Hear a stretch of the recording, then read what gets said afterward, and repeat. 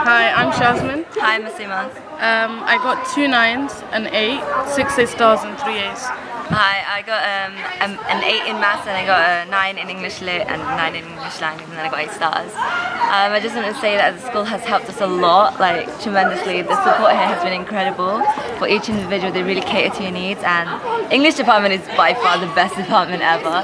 Um, I'm really happy with my results, it's really what I wanted.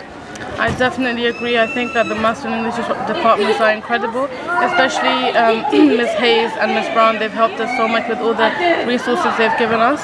Um, and I'd also like to thank my parents because they've been really supportive throughout the year. So, yeah.